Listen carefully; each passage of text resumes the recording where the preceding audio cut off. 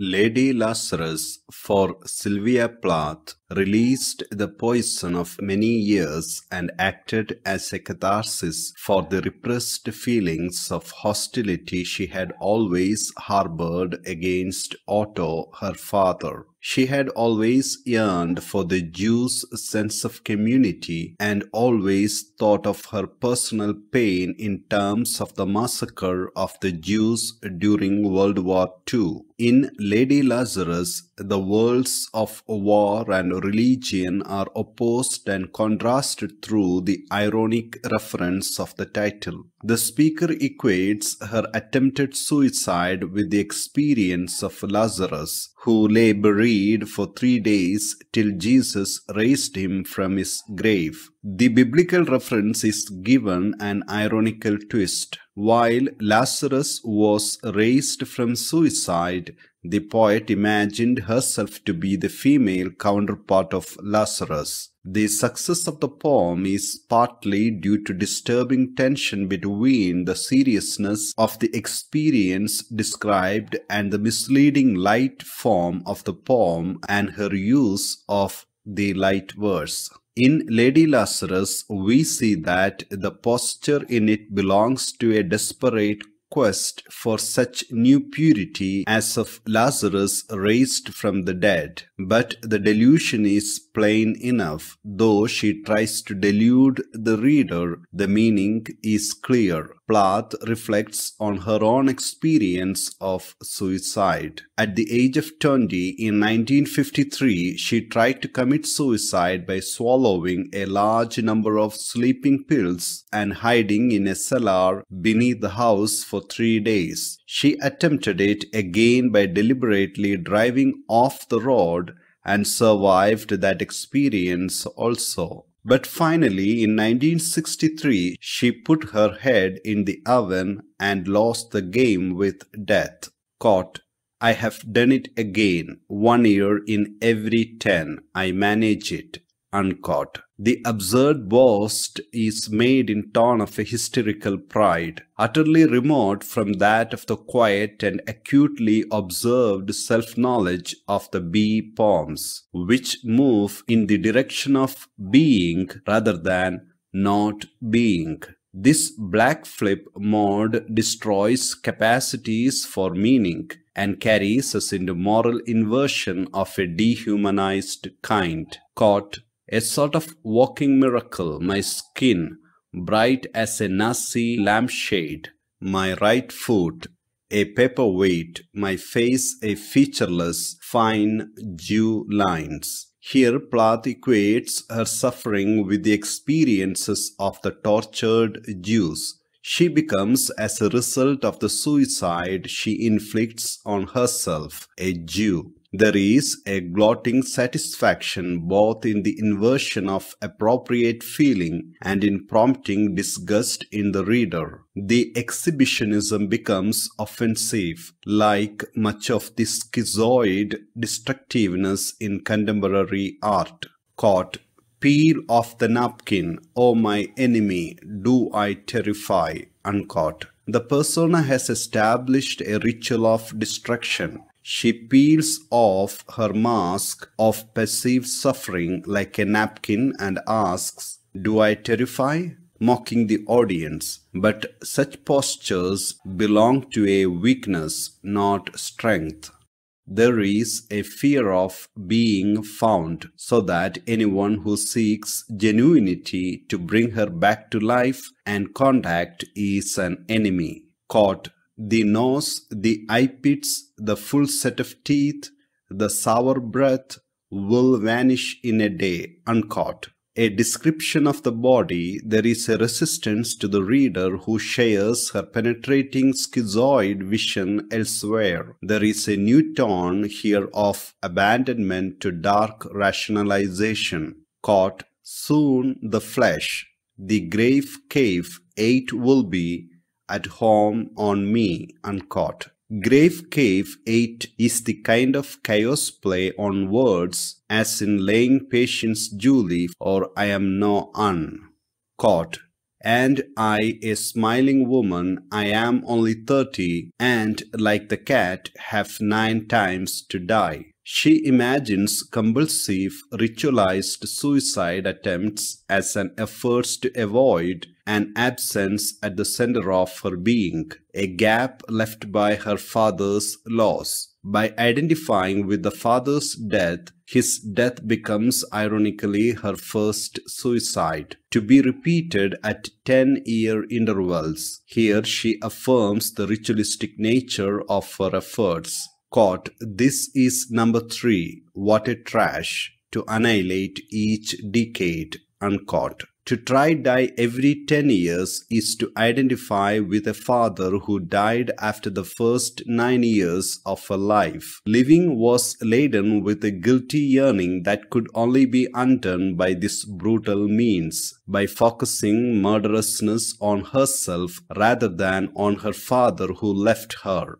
If the death of her father is illogically conceived by psychologically perceiving as her own suicide, we can understand the confusion if we regard the gap in Plath's self as the unfilled confirmation of her identity by her father. A crucial component of this identity is erotic, the need for a pre-adolescent girl of nine to have her womanliness accepted and confirmed by the male in her life. Caught.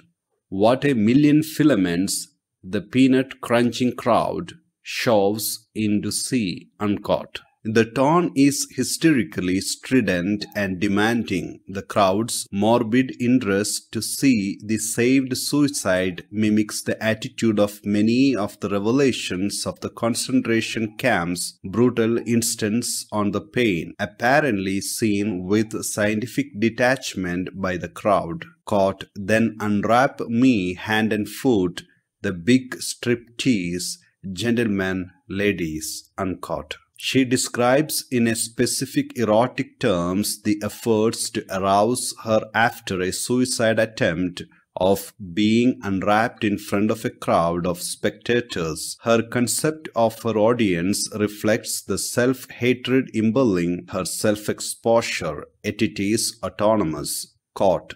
These are my hands, my knees, I may be skin and one, uncaught. She sees no end to her resurrections and mocks the audience that has stood by silently while the horrors were being perpetrated. The idle crowd who reveled in her agonies and were sexually stimulated by it, but who cannot now understand her survival. Caught Nevertheless, I am the same identical woman. The first time it happened, I was 10. It was an accident, uncaught. Plath modulates into a calmer tone and lapses deliberately into personal history, inventing details and altering time to suit the governing. Caught at 10, it was an accident. At 20, they had to pluck the worms off me like sticky pearls. Uncaught.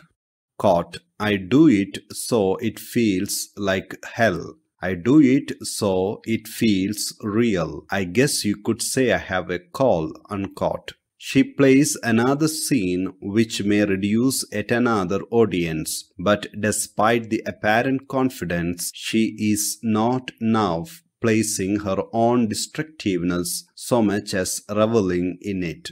She is ringmaster and promotion agent to her own suicide, caught it's easy enough to do it in a cell. It is easy enough to do it and stay put. It is the theatrical, uncaught. She speaks of experience in the field of dying, thus proving that Lady Lazarus is a psychotic fantasy, a person who has committed suicide and can still talk about it.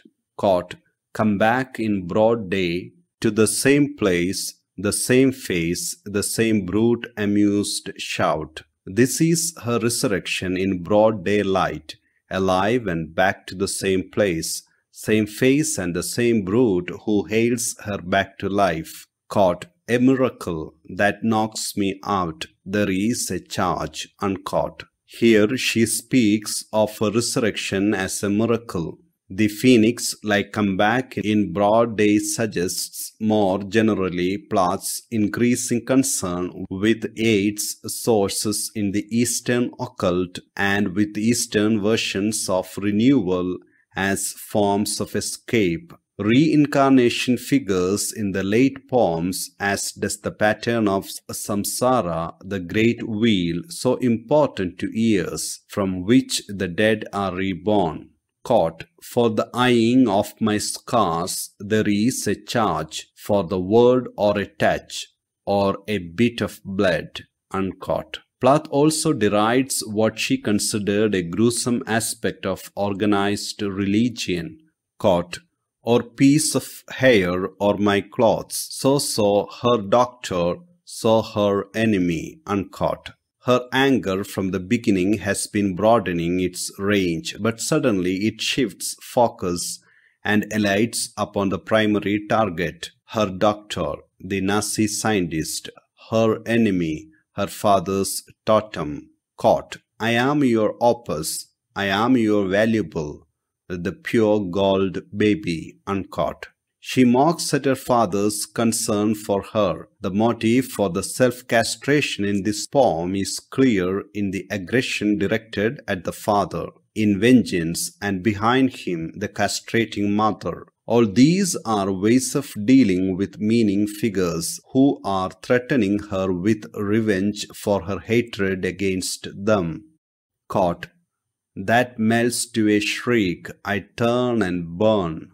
Do not think I underestimate your great concern. Uncaught. Plath links concern with the Nazi sifting through piles of Jewish ashes for valuables to loot. She also reverses the concept which seeks to prevent or remedy the damage or annihilation. It is a concern that she should be entirely annihilated. Caught.